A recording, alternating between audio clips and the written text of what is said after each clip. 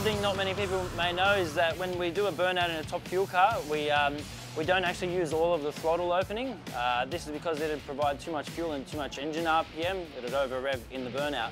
So we use a portion of it, which is exactly that. The throttle cable butts up against a mechanical stop, which limits the opening. We, we do have to measure this to ensure we get the right amount of engine RPM on the burnout.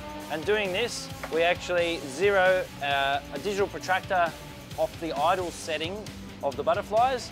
And then we'll get the driver to put it onto the burnout stop and we'll measure around 10 and a half to 12 degrees of throttle opening.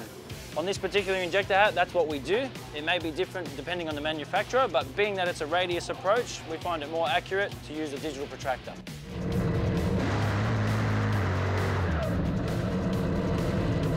On the burnout, we shoot for between uh, 5,900 all the way up to 6,600.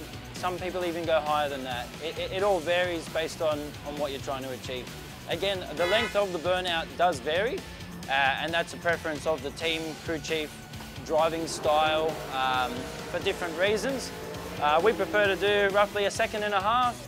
I know Damien and in my brother's car, they're roughly two seconds to three seconds. So, and that's just, uh, just a guesstimate there, but it can vary.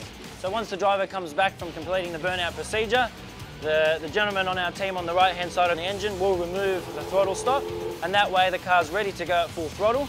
If we miss this step, it's extremely critical. We will not get those big header flames that you see when they stand on the throttle.